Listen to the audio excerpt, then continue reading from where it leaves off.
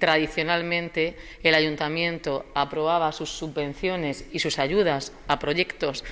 eh, que creía que eran pues los necesarios ¿no? Eh, para el municipio y luego el puerto hacía lo propio y a veces pues se producía esa duplicidad que hemos intentado evitar desde que estamos trabajando en coordinación con la presidenta del puerto, con Yolanda Muñoz, desde el ayuntamiento, ¿no? ya fuera Ana Belén o con Manolo o conmigo, para intentar llegar mucho más lejos y que sean muchos más los proyectos que se ponen en marcha en nuestro municipio. Así pues con los mismos recursos podemos, como digo, hacer muchas más cosas.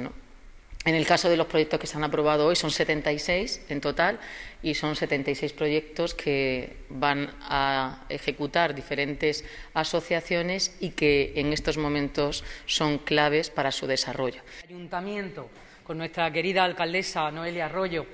la autoridad portuaria y los representantes sociales y empresariales de Cartagena, que participan, incluso son miembros del Consejo de Administración de la Autoridad Portuaria, ha aprobado las subvenciones con un presupuesto de 100.000 eh, euros subvenciones coordinadas con el ayuntamiento para llegar al mayor número de entidades, asociaciones, instituciones sin ánimo de lucro que presentan proyectos en los diversos sectores pues, educativo, social, cultural, deportivo y que necesitan mucho más que nunca, sobre todo como consecuencia de la pandemia, ese apoyo institucional, ese apoyo público y privado también para sus proyectos presentados.